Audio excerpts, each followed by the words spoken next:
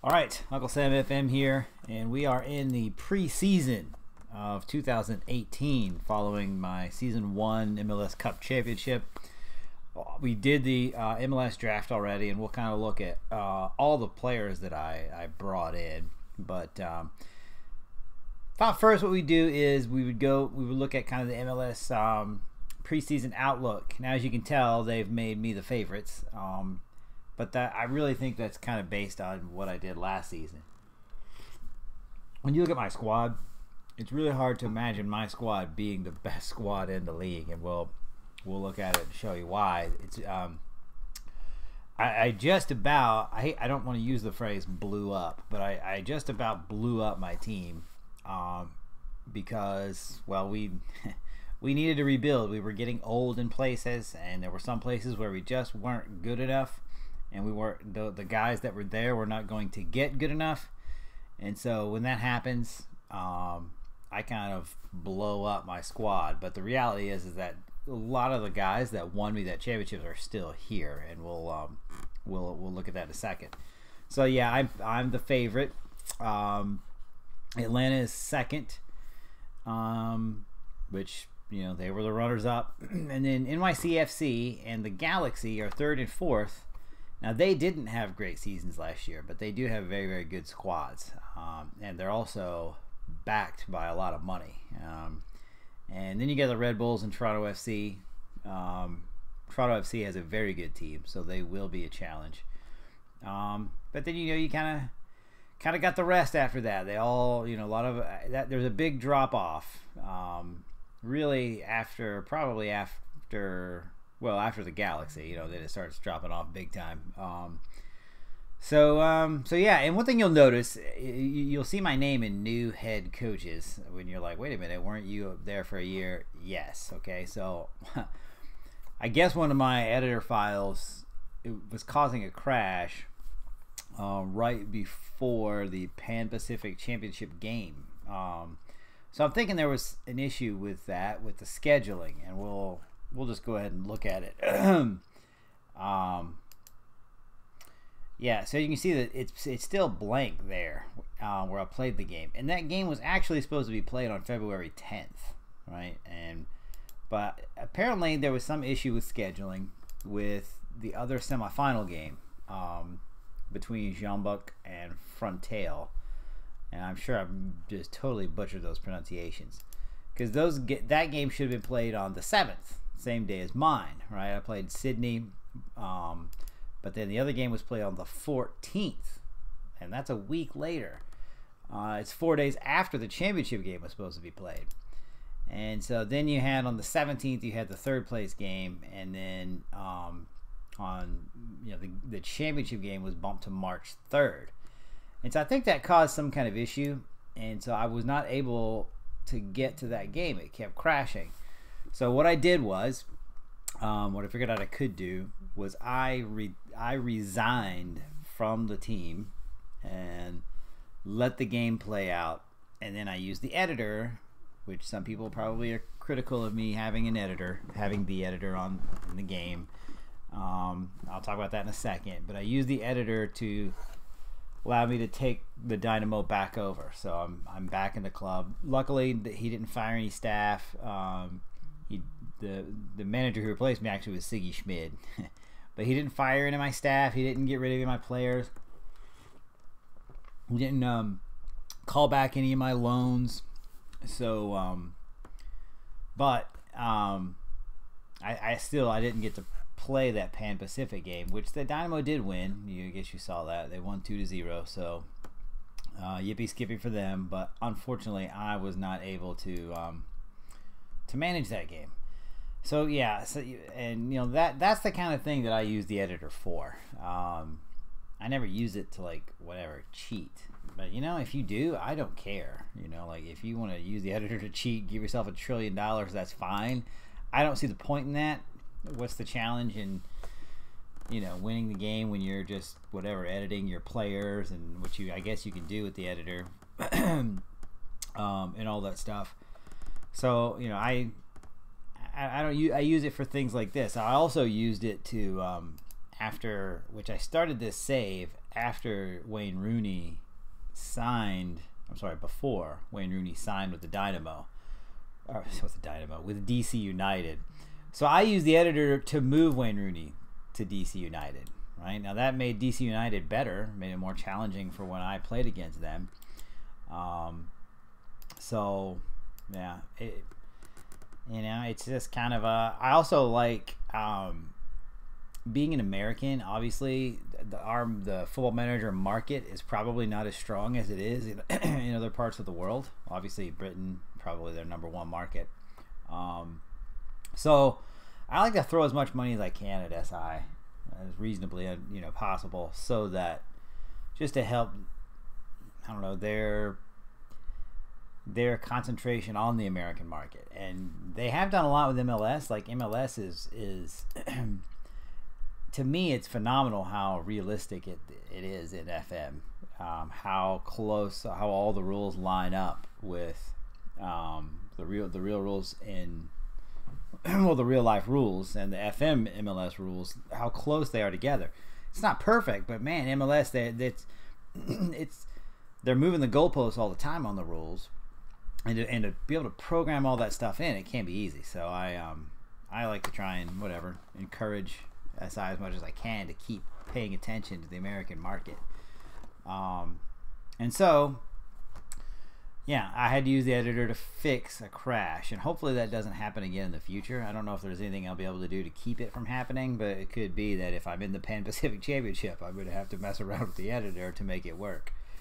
um, so, but looking at the squad now, as I said, I kind of blew up my squad. I brought in a ton of guys. Um, we'll look again briefly at transfer history. I don't want to spend a lot of time looking at at this, but um, all these guys I brought in since the end of last season. Signed three guys from um, three guys from the academy uh, who I'll be honest aren't great prospects, but I, I just like I like bringing guys in to hopefully maybe sell them and because they're I mean they're basically free, you know. So um, hopefully I can develop them to the point where I can then sell them on to maybe a lower level club. If if not, if they don't turn into something, turn into whatever a, a wonder kid. Uh, I brought in Jose Villarreal, or I think that's how you, Villarreal, Villarreal. Pretty sure is how you pronounce it. And but I already I traded him on for. Um, um, I think I traded him as part of a deal to get an international slot, maybe. Um, I brought in a lone player, Emmanuel Ajezoa from. Um, he's from Anderlecht, and he's a, a, good fullback. He can play either side, but I'm planning on playing him on the right because he's right-footed. Um, and then I signed well, another important. I'm trying to look at my the important signature, the important guys I brought in. The biggest, most important one left probably is Leo Xavier or Leo Xavier, however it's supposed to be pronounced. Um, he he can play center back or holding midfielder. Uh, he'll probably do a little both for me. Um, I kind of, I mean, he's got. I, I, for him to play defensive midfield, I'd really prefer his passing to be better. But uh, he's only 20, so he might get better. Um, and he's a good passer for a center back in MLS. Um, some of the guys I brought in, a lot of these guys you see here, uh, Carlos Rafael, Jefferson Felipe, uh, Willington Bueno, uh, I think even Durval dos Santos I sent on loan. Yeah. Uh, Marcelo, Zhao Guim, Gum, however that is. Connor. Tom- okay, so those that's starting my draft. So those guys, all those Brazilian guys I brought in, um, they're very young and they're quite frankly not good right now. But my scouts had high ratings for them, so I signed them and sent them off on loan. Um, I figure hopefully they can develop a little, and then maybe next season I can bring them in and see how they are. Or maybe if they're not that good, I can just sell them. Um, then I had the draft, brought in I don't know, six or seven guys from the draft. Connor Thomas is a fullback, play on either side, but my plan is to kind of play him on the left. Um, uh, then this guy, Nordella, Gabriel Nordella, who's a center mid. My plan is to play him in the, um, um, I guess you'd call it the the eight spot in midfield. He's a center midfielder, but the less, the more supporting mid- midfielder. Um, and then this guy, Dalrymple, he was my first overall pick, and he and Xavier are gonna challenge for that other center back spot. Um, already right away, I feel like he's ready to play center back in MLS. You look at his ratings. Um, I'd like for his work rate to be a little higher, and I'm gonna try and fix that. But you know, decent strength, decent jumping, tackling is good, marking, heading. Um, these are well, he's and you see he's a four and a half star prospect. So this is a guy who could eventually wind up in Europe, um, playing for the big clubs. But right now he's with me, and hopefully he um, he lives up to his potential. Uh, Eric George is a holding midfielder. Um, I like his technique, obviously, and his decisions, right? And so he is another guy who is if he's de- if he's not going to be my starting defensive mid, he's definitely going to get some. He's going to challenge for that. Um, Rodrigo Torres is a more of an attacking center mid, um, decent prospect. Um, and then Ruvalcaba, I cannot get guys with easy. To, why can't I get the Smiths or the Johnsons instead? I have to get guys like this. um, but he he does you know three star prospect you know, I think he'll be all right. He's got really good finishing and and he's a good header, um, which is normally not the kind of thing I look for. But when you see he's also got 14 pace, that's good for MLS. Um, so I think he can be a, a, a dynamic. Well, he can be a very good goal scoring striker for me. I just have to kind of round him out a little bit. Um, and then I got a goalkeeper who is he is my heir apparent to the to the goalkeeping spot. Um, four star prospect. Um, obviously, very good. Uh, then Tom Christopher, he is a he can play right back or center, but he'll be for me he'll be a center back. Um, got some work to do, but he's you know the jumping really jump you know that kind of caught my eye right there. Good in the air, which that's important um, for a center back. Uh, I would like for him to be faster, and that is where I'm going to focus. Um, Kirk Arnold is a guy, he's a left winger, but I'm going to try and get him trained at right wing and play him there um, just because that's where I have a, um, a spot to fill. Um, but he's fast, you know, pace 15. Acceleration is a little low, but um, at 12. But, you know, hopefully he'll develop. You know, he's a decent prospect. He's not going to be a world beater, but, you know, possible national team call up. Uh, and then this this guy, he was actually an undrafted player, but he was really high on my list. I think he, I think what happened was he got drafted. Yeah, I'm pretty sure. Let me look back at his career stats. Well, it says free. He got drafted, and I believe what happened is I traded my uh, rights for one of the guys that I'll never sign to whoever drafted him. And let's just go look and see. Where do I see that? Oh, wait, wait, wait. Yeah. Trades. Yeah, it doesn't show up there.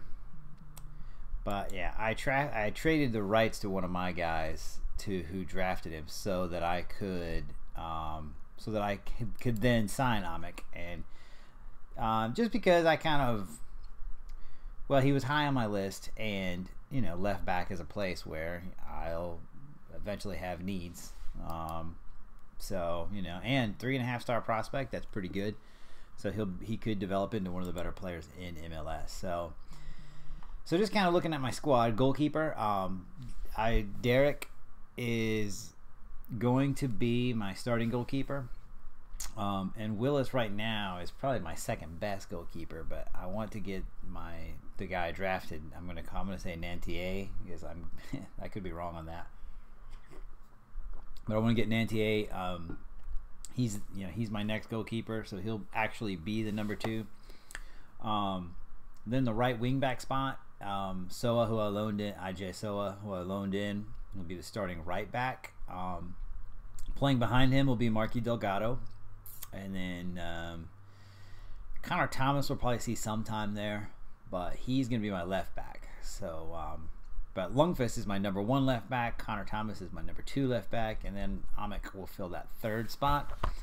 Um, center backs, Fuenmayor and and uh, Leo Xavier were probably going to be my starting center backs, but Dalrymple is right there, and then also I have um, Tom Christopher as my other center back. Make sure that I'm. Let me lower that camera a little bit. Um, yeah, so holding midfielder. Um, that I'm kind of. I've got a bunch of different guys that can fill that spot. So obviously Xavier can. Um, I feel like he's close to, to taking that spot. But then I also have Altintop and Artur who could be defensive mid, and Eric George. So, um, that's right now. That's a moving target. What I'm going to do with that, I haven't totally decided yet. Uh, but then the other, the number eight midfielder, uh, the supporting midfielder, that obviously also Artur, Eric George could fill that spot. But probably it's going to be Gabriel Nardella, who is a GA draft pick. Uh, and then the number 10 midfielder, Martinez and Gil. Um, and then Torres is going to you know get some appearances. He's my young prospect there. At right wing, um, it, Pena is going to be the starting right wing. Ronaldo Pena. And probably Kirk Arnold is going to back him up. Um, and then on the left, Manotas and who did I have as my other left wing? Manotas, maybe winger, or Nick Allen, who was another draft pick. Uh, no, no, Nick Allen was my um, academy prospect, and he has three and a half stars. So, and then striker Elis and Ruvalcaba. So, um, yeah, Ruvalcaba is you know, he, the scouts only rated two and a half stars, but I, I don't know. I'm really hopeful that he develops into something, something better. If not, I'll sell him. Um, so as you can tell, like you can see, not as many. Well, only one 30 year old on the team from as last year's team. We started the year with like four or five. So we've definitely gotten younger. So what does that mean? Well, I expect inconsistent results. Um, we're you know we'll we'll win some games, but we're probably gonna lose some games that we shouldn't. Um, that's kind of the reality of having a young team. The hope is that they continue getting better, and then by the end of the season, um, you've got an ex- a group of guys that are experienced enough to challenge and go far. I'll say this about my squad: I'm looking at it. I mean, it's I've got I've used all 30 spots, all 30 slots. Um, will go to registration. You'll see all. Ooh, who's the? Oh, Rodriguez is out because he's injured right now. But he so he's the 30th. So all 30 slots are used. All I've got three DPS, nine internationals. Uh, Ten of my guys are on the off budget. So I, I've used all 30, and this year and this with this team, more of these guys I'm excited about having. Not necessarily because they're going to contribute this year and help me win this year, but because they're at least guys that I can develop for the future. And so, and one of the important parts of my transfer policy is always having somebody ready to step in for when you move somebody. So, just for example, uh, if somebody comes in wants to buy Tomas Martinez, who right now is one of my best players, they offered me uh, his value right now is 5.75 million. If somebody came in and slapped 10 million down on the table, I would be okay with selling him because I've got Luis Gil right behind him, and then I've got Rodrigo Torres also there. So this is, yeah, this is a team where I'm comfortable losing anyone because I've got somebody right behind them to slide in who's either ready now to take their place or ready to really start developing. Um, whereas last year, I have an injury. Um, somebody would come in with an offer, and I, would, I didn't have anybody ready to step in. That's not a good situation. So at least, well, that's how I see it. because um, I, I, like moving guys. I like I like selling players. I like making money in the transfer market. Um, I don't, you know, I'm not a guy who goes and buy. I don't go and buy a fifty million dollar big name, which is fine if you do. I say that, but I'm a, I'll bring in a big name guy off the free transfer, um, you know, to fill a DP slot. But for the most part, I prefer buying low, selling high, and that's kind of that's kind of my transfer policy. So I am kind of excited, you know, about this season. I do expect to. Well, I, I don't expect to win the league, but I, you know, if I can get the playoffs, which I do, I think that this is a team that can't get the playoffs. Then, then, um, then you know anything can happen, right? Because you're one of the teams that's in there. Ball can bounce your way. Who knows? Uh, I will say this: I'm a little nervous about board expectations. They expect me to win MLS, and they expect me to win the Supporter Shield again, and I don't know that I have the squad to do that. Um, so that makes me nervous. Am I going to get sacked if I don't do that? Um, which that may be part of. I don't know. That may be part of the consequences of having to do what I did with um, firing myself and then making myself take back over. But um, so anyway, um, next video, which I know this was just kind of a looking at the squad and looking ahead video. We'll um, let's see if we can find one good here. Well, maybe we'll do a um, a live com of the Atlanta United MLS Cup rematch. We play them at home. Oh, that might be a good one. It's weird as I don't have FC Dallas until after that first Open Cup match.